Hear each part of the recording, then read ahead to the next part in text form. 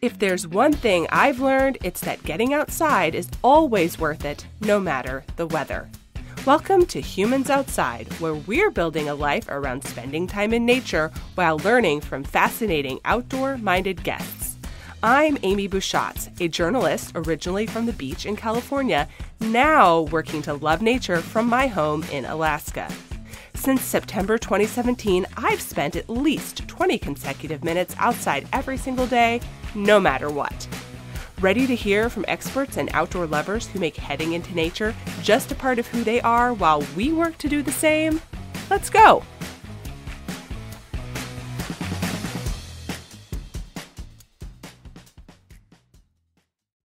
Getting into nature with kids can be both hugely challenging and rewarding add a range of ages or a child with special needs, and you've amped up both the challenge and the reward. Isn't it true that often the hardest things are the ones that are the most worth it? Melody Forsyth knows that firsthand. Melody and her family, including four kiddos, one of whom is now married, make getting outside just a way of life. But that wasn't really the case until her daughter Ruby was born. Ruby has Down syndrome, a special needs medical condition that presents a range of abilities depending on the person. And it was in learning how to move through her family's new normal that Melody headed outside with her daughters and sons and found her life completely changed. Her story has been told through multiple short films that I found really inspiring, including a film with REI and a short film called Her Way, produced by Salomon. Today, Melody is here to share her story with us, including her insights on how nature connects us to our children. Melody, welcome to Humans Outside. Thank you so much for having me. Man, I am so excited to talk to you today about kids and the outdoors and your family and just all of this stuff. But if you could please start us off by telling us um, where we're talking to you today. We'd like to envision ourselves having our conversations with our guests in their favorite outdoor space. Well, my favorite outdoor space would definitely be just amongst the red rocks in southern Utah. It's my favorite place to be. We love to be there as a family, love to just sit and enjoy the incredible silence, the views, the vista. We just, we love it all. I love that juxtaposition of the silence because I know you go outside with your kids and kids not so silent. Yeah. So but I feel like with kids, but you'll sometimes you'll get a moment. Like there is a moment where everyone's just kind of quiet and taking it in. Yeah. Or maybe they're just exhausted. But either way, like it's just, you know, a, a, a cool moment to spend together. Yeah, and it's even better when you're in a super quiet place that really highlights. So, like, chaos ends all around, and here you are, red rocks, silence. Perfect. Yeah. I love it. Um, can, and you are coming to us from Utah today. You are yes. located in Yeah, Utah. we live outside Salt Lake City. Right on. So, can you talk to us about um, how you became a person who likes to go outside? So, I think I just kind of stumbled on accident. I mean, I've always enjoyed the outdoors. Um, you know, I went to girls' camp when I was, you know, a teenager and had fun doing those things. Uh, just never like it wasn't a priority or something I would ever like really schedule or planned. Um, and it really was just when Ruby came along that we really started as we got into the outdoors to kind of, you know, escape the, you know, what we were going through and to just kind of expose her to the outside was when it just became a healing place for us. And we just realized how much we loved being outside. And then it was from there, it just snowballed so that like now it's a total way of life for us. Yeah. So tell us about Ruby. I, I mentioned she has Down syndrome, but of course, if you know one person with Down syndrome, you know one person with Down syndrome. it's like anybody else, right? Uh, and that's because it can be so wide ranging. Um, so tell us about your daughter and not just about her as a patient, but also her as a human. How old is she? Tell us about her. Yeah, I really loved how you described it, uh, described what Down syndrome is because it is everybody. Everybody's unique. Everybody is different. They obviously um, Down syndrome is is a third copy on the 21st chromosome. That it's that extra chromosome that they have and we you know in the down syndrome community we like to say they're you know rocking that extra chromosome and because it makes them what makes them extra special but also presents some challenges um, to their health to development in their body and in their brain and um, so she is yeah five years old and she is just a little ball of energy and just so much fun to be around. Um, she's still nonverbal, meaning she doesn't actually speak. She can uh, make sounds. Uh, she has amazing comprehension. I know she understands a lot of what we say, but is still uh, unable to communicate. Um, but uh, but yeah, comes alive when she's in the outdoors. How much? Uh, I've seen photos of you hiking with her on your back. How much kid are we talking about here? How much does this this five year old weigh? Like Yeah. in terms of in terms of backpacking a, a five year old, what does that look like? Yeah, she's about 40 pounds. Okay, it's so yeah, it's uh, not and yeah, and uh she is and it's it, it's it's interesting, you know, when I have like friends either, you know, try to carry her anything, it, she's just a lot of dead weight. Uh, people with Down syndrome Mm, typically have hypotonia, which is low tone, low muscle tone, which just makes it really hard for their muscles to, you know, really just uh, you know, grasp things well. And so, you know, mhm, when we pick her up, she doesn't like hold on to me. So it's really just I kind of call it she's just like a sack of potatoes because right. you know, that's how she you're she's holding you. And so um which is why we still carry her in a pack. She's able to um hike by herself, um but not for super long periods of time and she gets tired and then, you know, she we carry her for a little bit, then she has a burst of energy and wants to do it all by herself. So, Right on. yeah. Yeah. Um, and uh, I know I've seen also seen you with oxygen for her. Is she still on oxygen regularly? Yeah, so she um was born with uh, a couple little tiny holes in her heart and it's called pulmonary hypertension. So uh the oxygen was required uh for about her first year of life it was required uh 24/7 and then as kind of the holes she got bigger her heart got bigger the holes kind of closed up and things got better uh, they still recommended oxygen at night and then now um, it's also typical uh, people with down syndrome sometimes will have sleep apnea and hers is very mild but they said she'll definitely benefit if she's already keeping she like I said she's used to this. This has been her whole life of sleeping with you know oxygen on and she keeps it on really well at night. So i said it'll definitely just just help her as you know she grows and develops. So that's why yeah that's why she's on it now. So I bring these things up because I want to really paint a picture of um, what the well, first of all, like we talked about before, that you know one person with Down syndrome, you know one person's with Down syndrome, and uh, are you know folks listening to this might be envisioning somebody they know with Down syndrome who has a very different um picture of what theirs looks like for them. Um you know like i have a friend at our church whose son has downs and yeah it's not at all the same you know, yeah except that he it's also that. And so I just want to make sure we're painting an accurate picture. But also when we talk about going outside and, and about all the adventuring you do with your family, I just want people to understand like we're not just um, sticking everybody in the car and rolling. You know, right this is a system and a process and it comes with, you know, some extra bags, quite literally. yeah literally. oh yeah absolutely and we love to show you know just that like Eh, you know, yeah, everybody's adventure is going to look different and everyone's going to have different modifications and everyone's going to have, you know, yeah, different things that they require. But in the end, we're just yeah, hoping we're like, just get outside, you know, whatever capacity that is, that it doesn't, you know, you don't have to compare yourself to other people and that, well. I'm not, you know, as hardcore as they are doing that. Like that doesn't matter. It doesn't matter at all. Yeah. Like just, just that, just the act of the being outside is what's so amazing. Exactly. Just literally stepping outside your door in whatever capacity you have or can, or wherever you live, wherever you are, whether you've got red rocks or a trail or just that sidewalk in the city street, it all matters. Um, and Absolutely. it's all whatever you can do. Okay.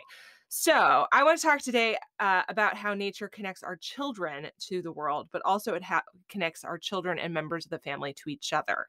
Um, so you talked about how Ruby just really comes alive outside. Um, so maybe you can tell us about how going outside and spending time in nature, um, what it means to your sons and to Ruby.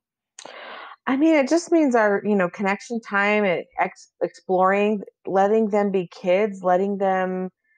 I mean, I think in this world where we're so overloaded with everything that's technology, it's just a total disconnect and just, you, I don't know, like it's human connection. It's connection to the earth. It's connection, you know, to those around you. It's just, it's a different type.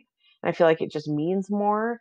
And, you know, they just, they look forward to that time. Not all the time. I have kids that complain and don't want to go do things also. I don't we all? I, I never want to paint this picture of like, this, we're this perfect family and everything's just working for us all the time because that's not true. But you know, we do have a lot of really awesome moments, you know, together in the outdoors. And it's all those, you know, tiny awesome moments that that make it worth it. Oh, such a good way to describe it because is that not the truth? My sons, uh, one of them has made something of a career. He's 12, so short career, but a career now of proclaiming his love for being inside. Um, and which is really fun because, you know, like this is all called humans outside. That's the point. Yeah. Right. So he, at any given, anytime he has the opportunity, will tell whoever will listen that he would prefer to go to a hotel. Um, and my, yeah, it's great. And then my, my nine year old, uh, will loves being outside but will you know throw his own little nine year old version of a temper tantrum right whatever that looks like just crying or i don't want to or really grumpy you know whatever that means on that day. Uh-huh. nine year olds are like that. Uh and but within minutes of being out there it's just so happy like he's clearly happy to be there. He's sprinting down the trail he's you know fine he's found a stick and he's having a star wars battle behind me. This is you know just run of the mill normal normal behavior but you know it's not always peaches and rainbows or whatever. Exactly. But we're always at the end of the day, like we're all glad to be there. Although my 12 year old has asked me if there's a elevator to the bottom of the Grand Canyon. So I think a lot of people are hoping for that. So I'm wondering though if if there's a difference between what it means to your sons and what it means to your daughter uh, just because of their their age difference do you do you have you noticed that change over time Actually, not really. Like, I that's the thing is I think we think, oh, kids are growing up and they're outgrowing all this, you know, stuff. And but I find that they like to just, you know, play with the rocks and and hmm. be creative and pretend, you know, that they're doing something else, you know, like thinking of like when we went to Great Sand Dunes and you think, oh yeah, you know, a bunch of teenagers. Well, I mean, they're they're kind of they're actually like the tween kind of age, really but you know they they were out there building i didn't realize they had packed a bunch of hot wheel tracks and cars and everything in their backpack and they brought them and they were playing with them and like and i was just like they just want to you know be little kids and play and be creative and they just had a blast. And you would think you know yeah. like oh yeah like i said usually yeah 13 year old boys love playing in the sand. Well mine does because he just yeah had it you know with his brother and then they involved ruby and you know let her play. And so they just like they do find a way to somehow connect all together um hmm. but still yeah can you know do their own thing. And sometimes they act a little bit more grown up like you know my oldest might like to try to watercolor you know get a picture of what you know what where where we are and and paint a, a really quick picture because you know we took a watercolor class. And so you know he's trying to do that. So they still do some of like their grown up things but they still just like they just want to be imaginative and creative and they're like just let me be let me explore let me climb the rocks and see how far i can go. But you're you're what you're identifying there is like a whole thread of creativity that sort of transcends age. So mm-hmm. watercoloring might be more adult right? right. but kids water i mean it doesn't have to be yeah. you know um and and i kind of like as you were talking i was remembering times that i even as an adult am having sort of that i don't you know maybe call it creative play while i'm in some of these spaces. I would be a big old liar if i said that i was not thinking about that book island of the blue dolphins while i oh, was yeah. in channel islands national park yeah. right? Which i is one of my favorite books and i spent i who can even count the hours um, pretending to be her on the beach in california when i was 12 yeah. and then i got to go to channel islands and you best believe that i stood on that cliff yeah. and i uh, envisioned myself as the character in that book um, and i i mean i'm an adult they claim yeah. you know so, yeah. Yeah it's it's amazing how that really brings you back home to i guess that t- in touch with your with your inner child. How do you think it connects your family together? Well i i think like it connects all of us because like we plan a lot of this stuff together. So you know it's kind of just mm. like eh, like every year you know as the new year rolls around okay what national parks do we want to hit this year? Like, what kind of like, what does everybody want to do? And that's where it's like, we kind of all, you know, come together. When it was my, when my daughter was graduating high school, that's kind of was like, okay, so we're going to go, we're going to have spring break.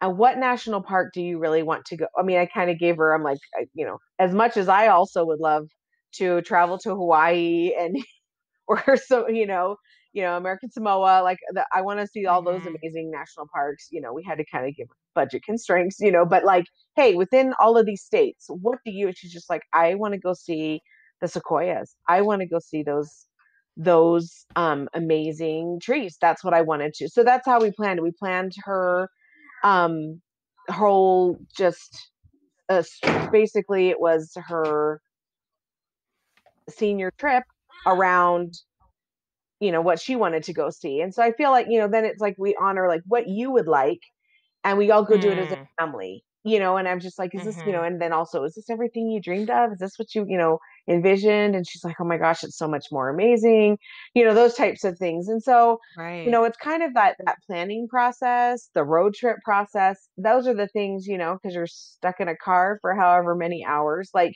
you just you know you're forced to bond you're fo- forced to be together and it just you know helps you bond that way and then obviously you know doing the same hikes working together things that are hard you know climbing rocks yeah. and people you know those types of things that it just kind of like brings you all together yeah i think you know that we think a lot i in the sort of outdoor community and retreats and, and that kind of thing about the benefits to your self for doing those hard things you know builds grit builds endurance and we might think about them in terms of how it can help you in a leadership setting you know there's lots of these leadership retreats that um, group cohesion but i i feel like we don't always stop and think about how it helps you as a family and relationships with your spouse and your kids um, and that that's an, just another great benefit of heading into nature is that it does build those those family relationships and those family bonds you know? Yeah. Like i said we recently you know we went backpacking in zion and the thing with with us for backpacking is because i have to carry a pack for ruby and mm. you know basically carry her most of the way so, you know, some of she can do on, on her own but the rest of it she has to be carried. So that limits the amount of packs that we have to carry stuff. So basically, the the burden lies on my husband and my two boys. Like we have three packs for five people because you know Ruby's mm. food and clothes and diapers and wipes and all those things. Like everything has to be able to go, and we have to divide it all between all of us. And it's just a a good thing of teamwork of like you know, and I'm helping you, and I'm carrying this, and you're carrying that, and you're helping me, and like Uh, right. just of dividing you know just like we all we all share you know the quote unquote burden at meaning like you know we all we all share uh, we share just like we share our triumphs like at the end of the trail and how happy we were to be finished because we were like done you know but just yeah. but like you know the you know big hug together and celebrating you know we also shared that you know that i hate the sand and i hate this heck i'm even starting where i'm just like we have to take one more step in sand, I'm going to lose it. You know, like they see their mom like getting mad and wanting to give up too. You know, we all just encourage yeah. each other, like, because everyone, it's not like everyone's at this, everyone's not complaining at the same time. It's like everyone's kind of struggling at different times. So everyone encourages. Oh, yeah. But it's like all of those types of things, like together of sharing that burden, sharing the difficulty, but then also sharing the triumph and the happiness. You know, that those are the things I think yeah. creates the bonds. Yeah. Oh, so good. Hey humans, just a quick break to ask for a huge favor. If you're loving this episode, could you take a second to give us five stars or a great rating and review in whatever podcast platform you use? Those ratings help other humans find the podcast too and spread that Humans Outside love around the world. I can't thank you enough for listening and sharing your support through a rating and review. Now, back to the episode. What does going outside mean to your relationship with your children? So I think like I like to watch my kids develop their relationships together and I feel like they learn a relationship with me, but sort of flipping it on their that head, right? How does it change how you see them? Well, I think just like because you can see them do things that are super hard and then see like watching them be proud of themselves is is just so cool because you know seeing them have that confidence in themselves seeing it that it's from mm-hmm. their you know their own hard work because i mean i can be encouraging but i can't move their legs. I can't you know it, it really is them on their own like i'm there cheering them on and facilitating it but they do it they're doing it by themselves to watch so watching their confidence grow in themselves and yeah like those relationships together like i get such a kick out of like if i'm hiking in front of them or behind them and you know i'm carrying ruby and the boys are by themselves like listening to their conversations you know, together and whatever they're talking about. Like I just am like they're yeah, they're creating those bonds between themselves. It's just yeah, it's Yeah. really it's it's cool. And sometimes they're fighting. But, you know, then and sometimes they're hiking apart. But then, you know, the other times then they come back together because now they're okay and now they can be nice to each other. You know, it's just Yeah. Yeah. I love watching my boys do that too. I Yeah. uh, yeah, I'm super resonating with that because it it is really cool to see them have hey, you know, hey, guess what? You know, and they have like Yeah. these moments where they're where they're just, you know, close in their own, you know, child ways, right? I mean, my son's 12, my oldest son's 12, so it's not a mature way, right? And then within 5 minutes one of them is pantsing the other, right? So Yeah. it's just back where we were to start with. Yeah. Um, you know, but good, I guess. Yeah. I mean, we could probably do without the pantsing, but it's you know, it's it's healthy that way that they that they have this bond. They don't it's it's encouraging to know that they don't hate each other all the Yeah. time. So True. Yeah. Very true. And you kind of it's almost this window into a mature relationship that I'll be able to watch them have as adults, Yeah. uh, hopefully. Uh, Yes. and they'll probably still pants each other. So Yeah, let's exactly. be real. That's That's what boys do. and that's I guess that's okay as long as it's not in, in fully in public. Please, if you guys are listening to this, don't do that. Okay.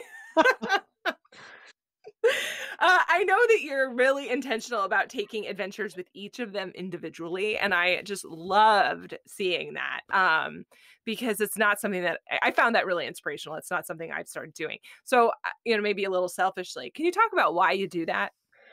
So, actually, um, it stemmed from a comment that I read that somebody had posted um, about the REI video. And someone just said, like, I feel sorry for all those other kids. Like the other kids, like everyone just like in a way of like just saying, like everyone pays attention to Ruby and the other kids are forgotten. Hmm. Obviously, you know, that person does not have an insight into my life and does not know, you know, especially, you know, having an older child that has dealt with uh, mental health issues and how much Mhm.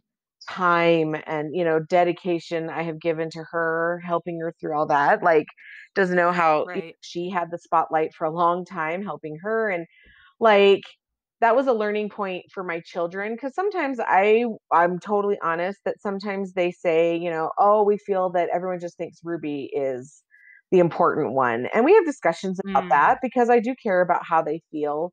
And it was kind Mhm. of just like that hearing hearing that, seeing that comment that just put I'm like, I really we always think our kids like know that we love them and we care about them, but I'm like some and words are important, but you know, actions are important as well. And I just felt I need to do something to you know, show them that they are just equally as important and special and unique and valued in this family. And it was just a thing of like, you know, first on kind of accident where I was just like, you know, I was going to go on a hike by myself and my son was just kind of like, "Hey, can I come with you?" I'm like, "Hey, yeah, sure." uh yeah come on let's let's go and it was just something local and just like he's just talking to me and jibber jabbering about you know all these Mm, things and i just realized i'm like this is really this is really valuable because he's opening up and he's telling me about how he feels and especially you know with teenage boys that's not always easy and and just like he kind of because I asked him like, "Well, how come you're like so open and everything?" Goes, "Well, nobody else is around. Like his siblings aren't around." So then it's not like he's trying to hide anything, but sometimes yeah, you're maybe you're embarrassed to talk about other things in front of your siblings because you don't want them to make fun of you or those types of things. And I realized I'm like, this is really important time. And so then it would became a more much more intentional thing of like, hey, you and me, let's go, you know, let's do this, let's go here. And um, you know, with my other son of uh, you know, we he has to come with me a lot of times. Like I said I I drive him to school, or he'll come with me to go pick up things, and just that time in the car. So then when it's just him, he starts asking hmm questions and think like it's just that I've rec- I've just seen that like that sweet spot of like when they're by themselves and everyone's not around them, they kind of just yeah open up. And so then it was just like Right. I wanted to. I'm like, okay, we need to do this more because this is definitely you know a value. Yeah. No, okay, so as if somebody could understand everything about your life from a 20-minute REI video, first of all. That Yeah. that must be said. Um, please. Uh, and I say that as somebody who's had, you know, we're in a documentary and things are written about us and all that stuff. And uh, I mean, that's just that's silly. Sorry. So I have to get that out. Okay. Huh.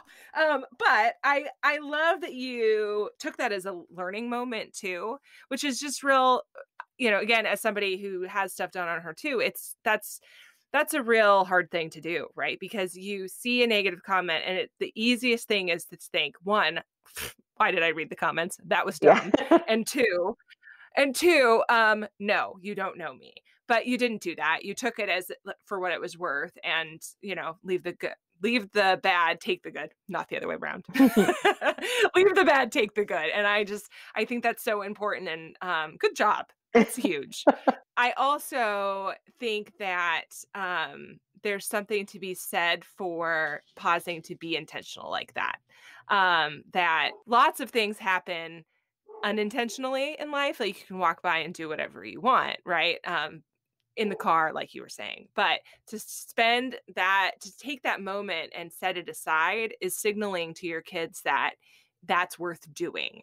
And we're all busy. You know, it's so easy not to do that because we have all sorts of things going on in life. But um, I think that's really inspiring. And um, I'm going to try to to replicate that. I'm going to take your advice and see see what I can do with my kids like that because it is it's meaningful. Thank you. Yeah, it is it is very meaningful. Do you think spending time in nature has made you a better version of yourself? Absolutely. Um, so I I don't have a lot of patience, um, in my home, uh, meaning, you know, I just I feel like, yeah, half the time, yeah, my kids don't listen to me. They don't pay attention to things I've asked. My husband doesn't listen to me. Like, sometimes I feel like I'm Right. never heard and I do lose my patience. I, you know, I wish I didn't yell as much as I do, unfortunately. And I just feel that in the outdoors, I just my demeanor changes. Like I guess I just I don't feel the stress of whatever I guess I am feeling at home and I don't feel like I yell at my kids unless they're in a dangerous like you're going to fall off the cliff type thing like I don't really I don't yell at them like I let them yeah go you know play and get dirty and get messy like it just it doesn't bother me and I don't care and it's just like let them I don't know it's it's just different so I feel like I have much more patience and tolerance with them with myself Mm, you know, I just like my anxiety level just comes way down. So it just makes me different. Like I just I'm not bothered by things.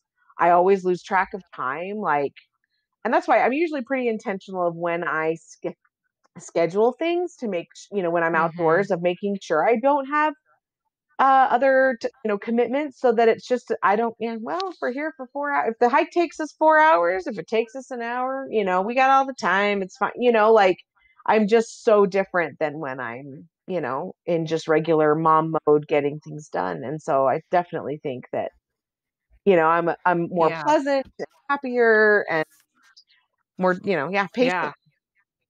Okay, so as someone who also struggles with all of the things you're saying in regular life and also feels those things fall away outside, Melody, how do we bring that back inside? How do we do it, man? I don't know. Well, sometimes I think like we like to t- we like to talk a, I'm a big dreamer. Like I talk about lots of things that I want to do. Realistically, is all that stuff going to get done? No. But in my head, it's still fun to talk about. And we like like we like to watch sometimes like what'll also change the demeanor. I'm like, hey, put on because my kid, like he my my my oldest son, Logan, he is just he knows like everything about everything and just watches YouTube videos about all you know all sorts of stuff and finds like tons of hiking channels and stuff and I'm just like yeah let's wa- let's look at a hike. Let's see let's find a hike that we can do. You know like it'll it and that's the part I guess where you know and then it brings it at home where we talk about it we Mhm. plan and then that it helps me calm down a little bit too or you know reliving kind of the fun thing you know remember reliving the memories that we've done that helps a little bit, but yeah, I'm I'm still trying to figure that out myself. Maybe it's just it's practice Yeah. and go I'm just thinking out loud. Like it's practice, right? And then it's going back to intentionality. So maybe it's thinking through the things that we like about ourselves when we're out there being being low key adventure mom and Yeah. and then try like being purposeful to transport those things inside. I don't know. I'm just like I said, I'm just thinking out loud here because I want to figure out how to how to be that version of me every day Yeah. during my job and mom life and all that stuff. So, Yeah, that would be yes, yeah. so helpful. yeah. So helpful. But, you know, I think people like that's the dream that people are searching for too, right? Like we sell everything we have and live in RV. Mm, We do what I did and move to Alaska, right? All of these things are designed to reset and refocus. And guess what? Like I moved to Alaska, I bought a house, I live in the house. It's the same Yeah. as being in Tennessee for a lot of purposes, right? Yeah. Except that I have more mountains right outside my door. Yeah. I'm still me. Me, ha- me didn't stay in Tennessee. I came here with all of my stuff to Alaska. And absent of that intentionality, it's the same. Yeah. So, yeah, I don't know. Can't I have no help for you listeners. We're just trying to figure it out too. Absolutely. okay. So, uh we've been talking a lot of we have no help on that, but we've been talking a lot about using nature to bring yourself closer to your children and bring families together. So I'm hoping that you can give us a couple of actionable tips that people can do to sort of walk us out with this. How uh, can people use nature to bring themselves closer to their children and their families? Well, these are just a couple of things that we have done that I think help. I think like Mm, once again, everyone's kind of different, but so the biggest thing is to I think is set a goal. Meaning have a common goal as a family. And so for us, the common goal is we want to visit all of the national parks together. Um, it mm, started off, I said my, you know, older oldest daughter who's married, like she was part of that, and now she is, you know, living on her own and having her own life. And I get her to come and join us occasionally, and we're super excited for when that happens. So, you know, it's not her involved, unfortunately, but we still have, you know, the other three kids, and we're like, we're still, still, still the same goal, still the same family. So let's keep going, and that helps us, like whether it's maybe it's visiting all the state parks in your area. Maybe it's like I love the 52 hike challenge. Like that's something that a family could very easily, you know, do and you're like, "Hey, we're going to do 52 hikes together this year." Like I think it, you know, it's something of like is if this is our goal as a family and it's kind of a, and it's a tangible goal, like everyone's always like, "Well, we want to be happy as a family." Of course, that's great, but you know, like what is something specific and having that kind of a goal of uh, you know, visiting all the state parks, or we're gonna, you know, kayak every single lake in our state, or what, you know, whatever, like those mm. types of things. Like it does, it's whatever interests your family, even if it's just we're gonna go camping in this this many places. Like there's just there's so many things you could do with what's your what your family's interests maybe you don't even if it's not it's just like we just want to visit historic sites whatever but i'm like it's getting to getting you together and it's getting you outdoors doing something different i feel like that is one of the you know best Hmm. best things that you can do. Um and like i said the other one is like i think road tripping is so i think it's like right now it's pretty it's a pretty popular thing to do. Um from what i hear like i hear you it's hard to even buy an rv because people they're like on back order everyone's getting one now.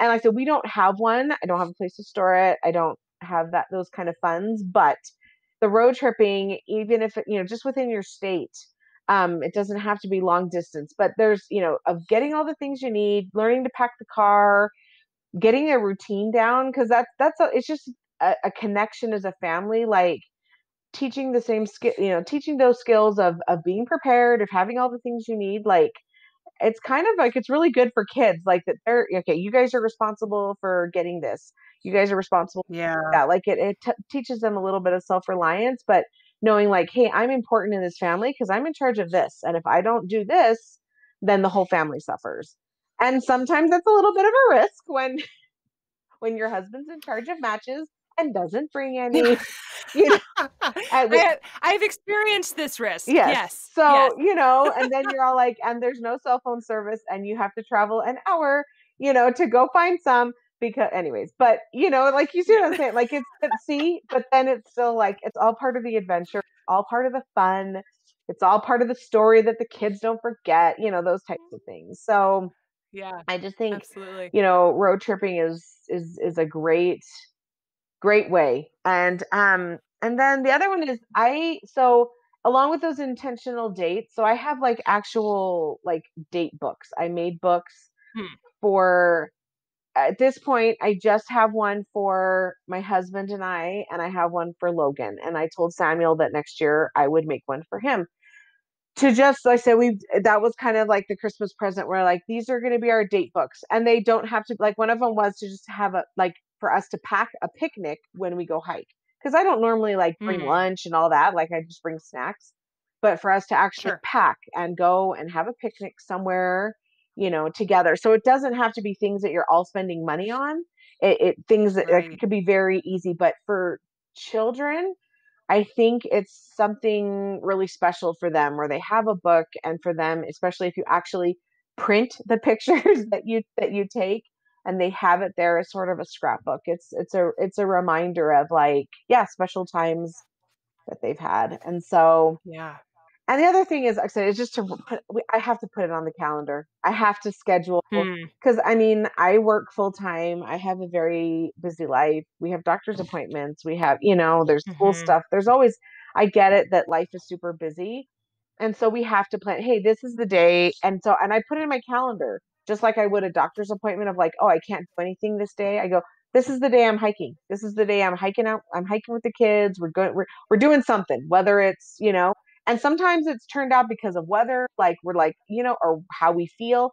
You know what? We're just playing in the backyard and blowing up the kiddie pool and just splashing around, hanging out together. So it doesn't have to be like you're going someplace far. It can be just, but but that it's Yeah. scheduled, and I think that like it shows the kids that that they you know they matter, they're important, that that time is valuable to you as well because you've put it in your calendar where all your other important things are. And so, Right. yeah, that's Right. Yeah. And it and it makes sure that you, you know, it keeps it on top as a priority for you. I know something's not in my calendar. Um yeah. Yeah. It's not even it's just it's a bad situation because I cuz I am busy too, Yeah. you know? Um and we're all busy. That's the thing, right? Um and I think some of us are better at being busy than others. That's not a compliment. That's yeah, no, true. yeah, I mean, I'm I'm that person. That's a commentary on me. So, well, thank you for that advice. I really I really appreciate it. Um, and uh, we I I really am grateful when um guests share their lived experience in the form of advice. So, thank you so much for for doing that. Um, I'm hoping that you can walk us out with a couple of things we call our leftovers round, uh, and just some stuff that I like to know. So, can you tell us what your favorite piece of outdoor gear is? Just something that makes your life not necessarily easier, just something you love. Just what do you love? Well, I love my backpacks.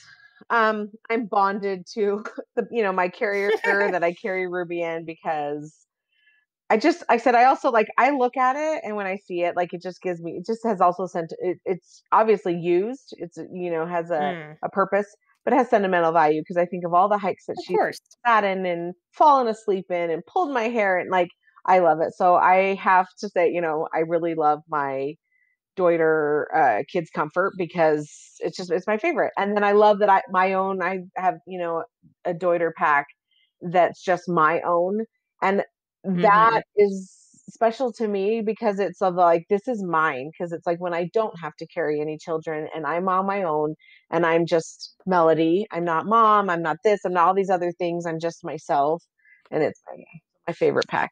Yeah. Yeah. What's a what's a super essential oh, piece of gear? Kula I mean, I think your packs.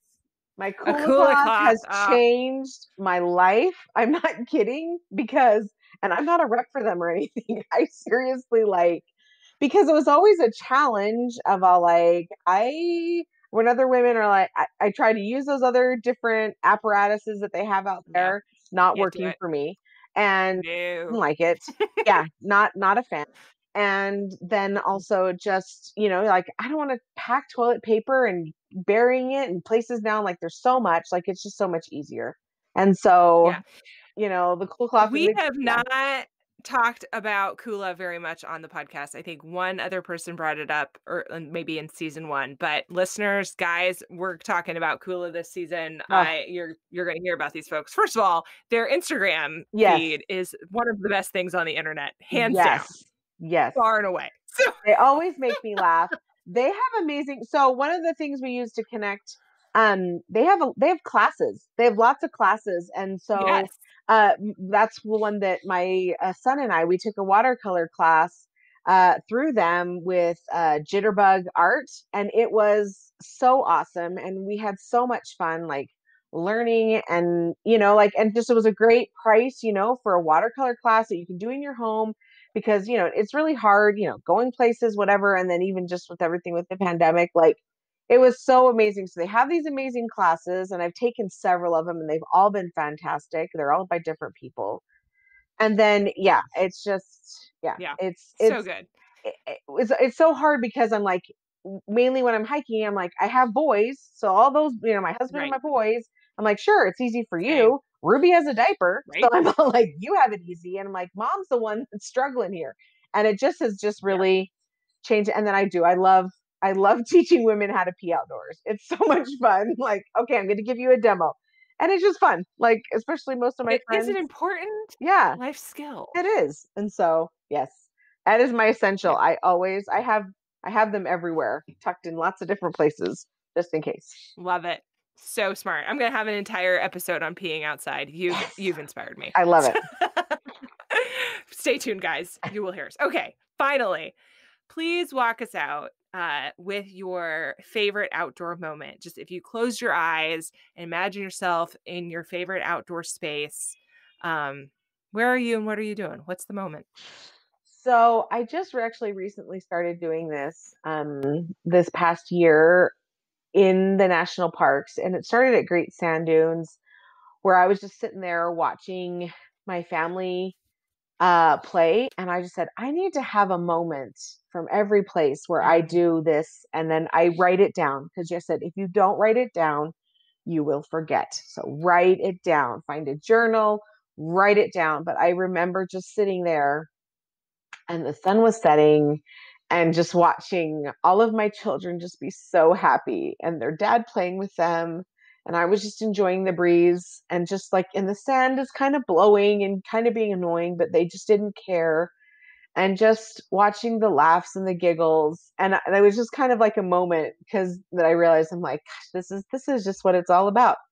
Just seeing seeing them be happy seeing them just enjoy each other playing in you know whatever nature gave them which was just tons of sand and it was just was just gorgeous and so it's kind of been something that i'm more intentional about so that i you know every every every national park now to take a moment like that and remember it yeah Beautiful. Melody, thank you so much for being on Humans Outside today. We sure appreciate it. Well, thanks so much for having me and for letting me tell my story. Well, thanks for listening to this week's episode of Humans Outside. If you've enjoyed this episode, why not give us a little love and leave a rating and review to make it easier for other listeners to find the podcast too? It really does make a difference. Until next time, we'll see you out there.